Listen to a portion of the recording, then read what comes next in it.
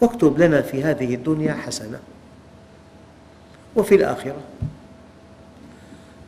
الحسنة في الدنيا لها معنيان لها معنى لغوي شيء تستحسنه ولها معنى شرعي. الشيء الذي حسنه الشرع إنفاق المال حسنة في الشرع. أما إنفاق المال بنظر البخيل حمق. ففي معنى لغوي للحسنة كل شيء تحبه أنت وقد تحب المعاصي لا سمح الله.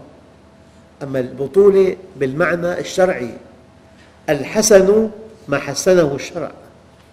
تكون نايم بالشتاء الفراش وسير ودافئ فالحسنة عندك تم نايم.